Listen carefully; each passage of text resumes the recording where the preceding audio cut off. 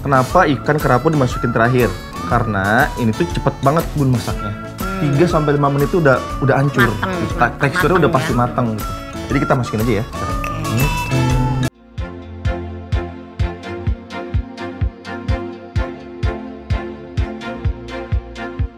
Kita kembali sayang-sayangnya Bunda di dapur ngebor saya masak aneh. Wena,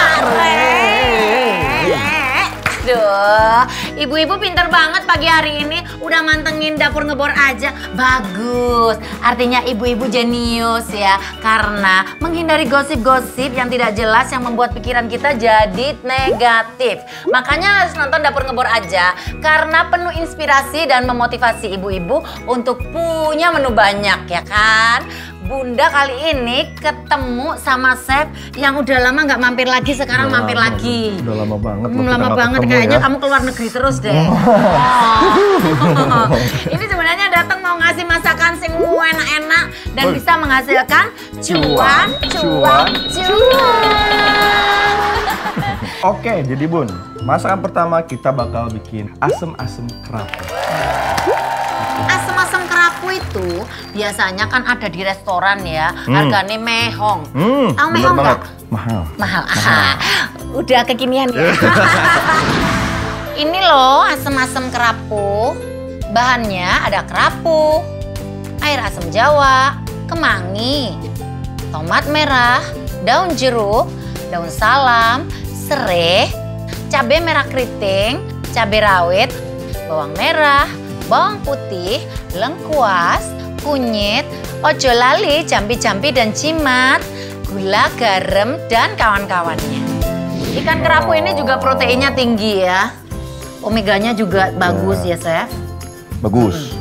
Berprotein. Oke, kalau gitu bun, kita langsung Hmm. ulek-ulek. Kita masukin bawang merah. Nah, ah, nah, ibu-ibu juga harus bisa ini ya, eh, makan yang memang benar-benar bisa menghasilkan cuan-cuan. Tuh, wes tuh blek ini ya. Blek ya? Wes. Oh, wes. Mm-mm.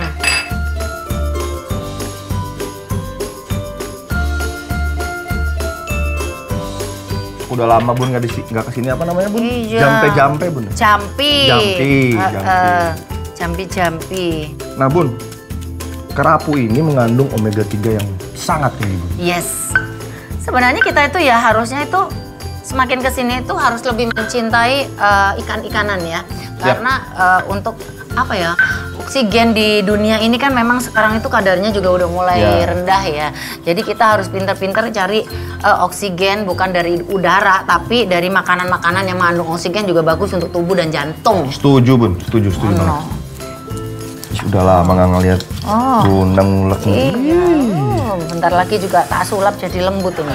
Salah bim bun ya. Mm-mm. Tuh. Hasil tadi uh, dicemplung-cemplungin ada cabai keriting, Tuh. bawang merah, bawang putih, Tuh. terus lengkuas, Lengkuas. kunyit, ya kan?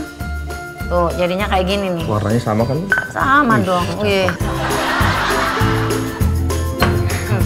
Piye ini? Wih bun, udah cakep banget nih bun. Wes. Sekarang Ah. aku siapin minyak dulu ya. Boleh. Oke. Yuk, jadi biasanya asam-asam kerapu ini kita dapetin di eh, tempat-tempat restoran atau warung-warung seafood gitu ya. Nah kali ini kita share di dapur ngebor supaya ibu-ibu di rumah juga ben tidak kehabisan menu varian untuk sajian di rumah gitu. Nah kalau jualan ya ini juga mahal karena kan yang dipakai asam-asam kerapu. Tapi ini daerahnya nggak ada kerapu boleh gurami yo. Bisa. Ya nggak Chef? Bisa, selama itu Oh. ikannya ikan air tawar bun ya. Hmm. Mujair, ikan nila, nah Hmm. itu ya Chef. Yo. Uh, itu jadi Bisa. jadi seger gitu. Oh, Oke. Terus kita tumis ya Chef. Kita tumis. Mm-mm. Udah mulai Udah tumis panas ya. ya bun. Oke. Kremes. Hmm. Namanya juga mak-mak ya. Kalau kalau nasi solet aja juga layaknya sampai buwening ini, sampai resik ini. Harus bersih bun ya, Oh, bun iya, ya. nggak mau rugi. Tahu Iya. sendiri kan, semua barang itu nantinya ke depan itu akan naik. Betul. Jadi ibu-ibu itu kalau nonton dapur ngebor jangan cuma dipraktekin buat masak di rumah, Hmm. tapi buat jualan. Setuju. Ngono. Bisa membuat tambahan saku untuk keluarga, buat tambahan eh, uang jajan anak-anak, buat bantu nambahin suami Ben nggak terlalu berat kerjanya, ya nggak Tuh, Sef? Gimana Sef?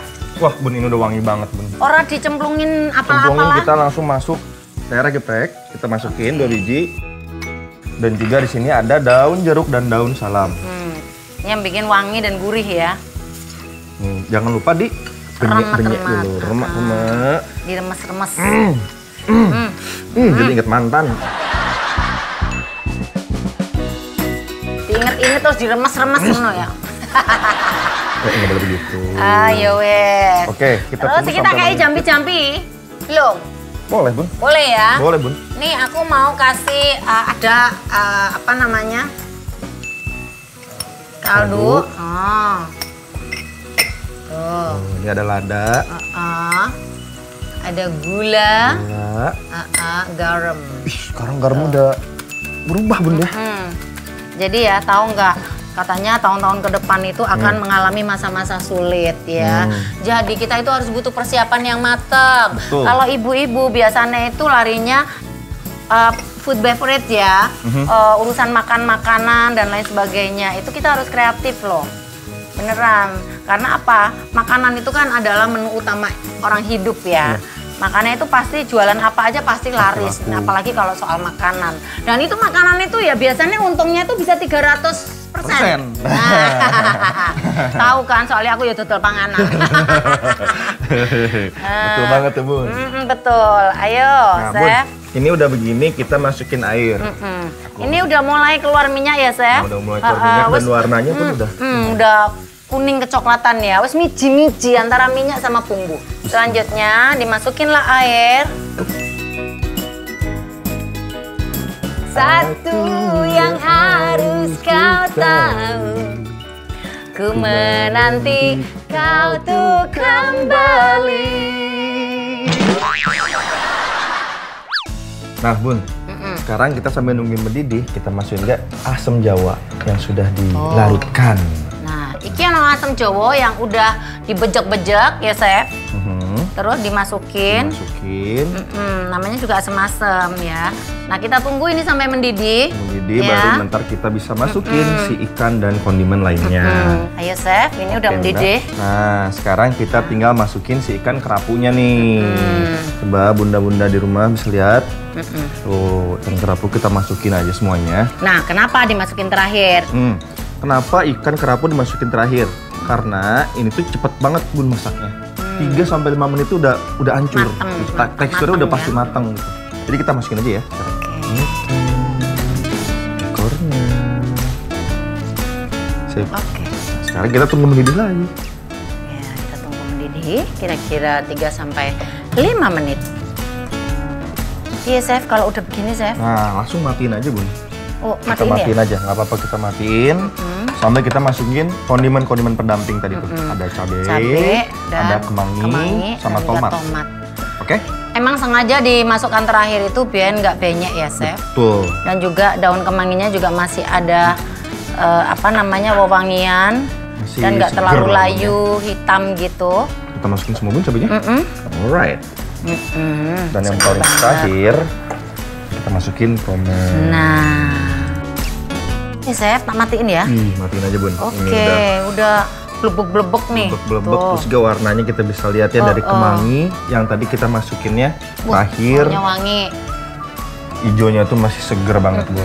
Dan tentunya ya Chef, Mhm. eh, asam-asam kerapu ini banyak orang yang tanya, kok dicemplungin ikan nggak amis ya? Karena namanya rempah-rempah udah masuk semua, Oh. itu udah pasti akan mempengaruhi eh, apa namanya bau, Bau, ya. bau asamnya Ras- tuh, uh-uh. apalagi kan kerapu Mm-mm. lebih ke bau tanah.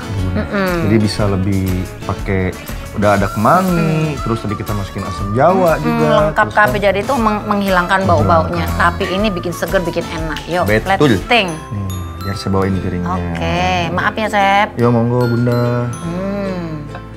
Tuh lihat tuh. Aduh. Tahu nggak yang namanya kepalanya yang kentul-kentul itu aku Hmm. suka banget. Ih. Tuh. Jadi dimasak di akhir pun juga akhirnya eh, ikannya juga utuh ya, Chef. Hmm, soalnya kalau misalkan kita udah masukin ikan dari awal gitu di rumah, Bonyok ya. itu bonyok-bonyok.